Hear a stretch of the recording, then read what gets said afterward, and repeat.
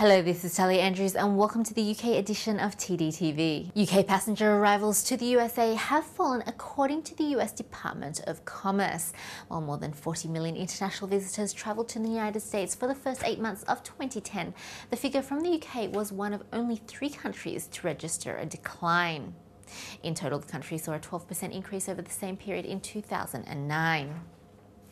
Flybe has launched three new routes from Southampton for summer next year. The airline will now fly to Béziers, Clermont-Ferrand and Pau in France from May to September, with prices starting from £39.99 one way. Mike Rutter, Chief Commercial Officer at Flybe, said the routes would further position Southampton as the most convenient gateway into the south of England from France. In other news, two-thirds of British guests on board Allure of the Seas are opting for top-range accommodation. According to Royal Caribbean's latest sales figures, its balcony and suite cabins have been popular in the UK market. Dominic Paul, the cruise company's UK and Ireland Vice President and Managing Director, said it was benefiting from customer loyalty despite post-recession financial worries in the UK.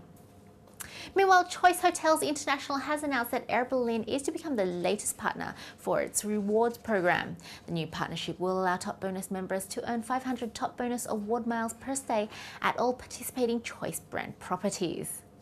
Members of the Choice Privileges Rewards program will also be able to redeem 5,000 points for 1,000 Top Bonus award miles. And finally, in today's news, the yachts of Seabourn have appointed a new head of sales to increase the cruise line's trade awareness.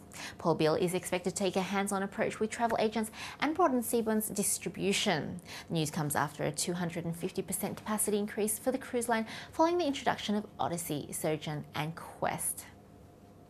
And that's it for today. Thanks for joining us on the UK edition of TDTV. We'll see you again tomorrow.